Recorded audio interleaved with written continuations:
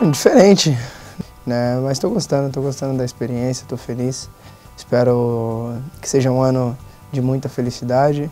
Espero que a gente possa ir longe em todos os nos campeonatos e é isso que a gente veio buscar aqui.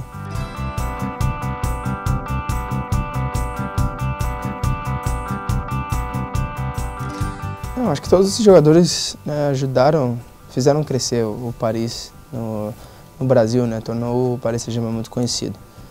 É, Ronaldinho, Raí, Nenê, são, são jogadores de, de, de, muita qualidade que fizeram história aqui. E Aloísio, então são jogadores que, que, que, fizeram parte da história do Paris e levaram o nome do Paris para o Brasil. E depois o Thiago, Lucas, Marquinhos, enfim, agora Dani, eu. então a gente já está ajudando o Paris a ficar maior no, no Brasil.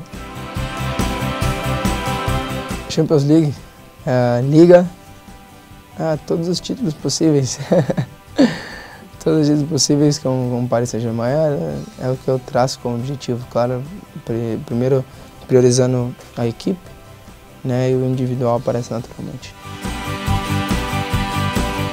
É, eu estava ansioso, né, o dia inteiro eu estava louco para jogar já desde a minha apresentação aqui.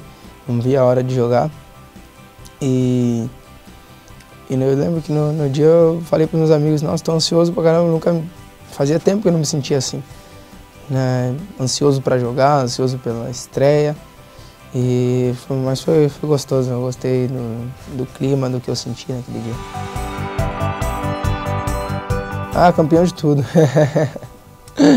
Espero que a gente ganhe todos os títulos nesses três anos. Tudo que puder imaginar, a gente vai em busca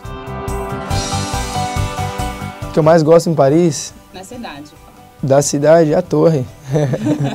Olha, a torre que é, sua. A torre que é, que é nossa. Olha, ser bem sincero, eu gosto de ficar em casa. eu vou fazer um churrasco com meus amigos.